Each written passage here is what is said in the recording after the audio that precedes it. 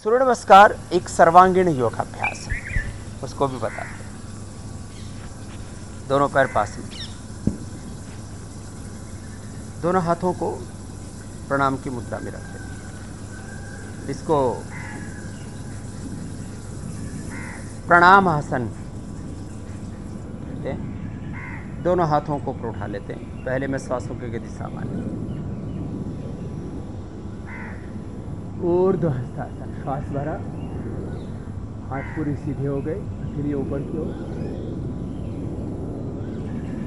पीछे झुके जितना झुक सकते। फिर श्वास बाहर। आगे झुक गए। जितना झुक सकें, कुछ इतना झुक पाएँगे, कुछ इससे अधिक झुक पाएँगे, जितना झुक सकें। उतना झुक जाएँ। पाद हस्तासन हो गया। फिर दाहिने पैर पर बैठ गए। बाएँ पैर पीछे सीधा। दक्षिण अश्व संचालन आसन इसको कहते हैं। दहने पैर पर पूरे बैठ गए। बाएँ पैर पीछे पूरा सीधा। अधिकतम जितना हो सके कमर को नीचे दबाएँ, सीने को ऊपर उठाएँ। श्वास अंदर। अब दाहिना पैर भी पीछे चला गया। अंगूठे के पास अंगूठा, एड़ी के पास एड़ी। घुटने सीधे। एड़िया ज़मीन पर टिकी पर्वतासन हो गया।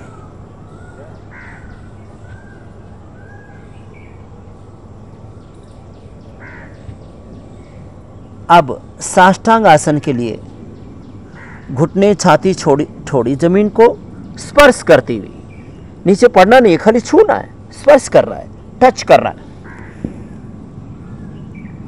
श्वास की गति सामान्य अथवा श्वास अंदर भर के रोक के रख सकते हैं।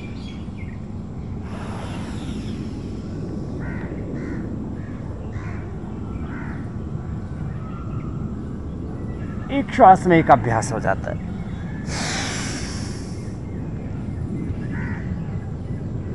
हाथ, पैर, पेट, पीठ की स्थिति सधी चेहरा भी सहज। सहजता, एकाग्रता, प्रसन्नता, समता, दिव्यता चेहरे पर। बाएँ पैर आगे। वाम अश्व संचालन आसन।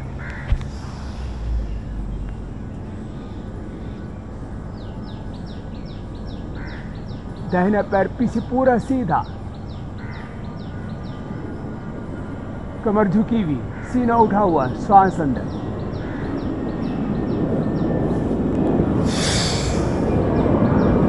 पाद हस्तासन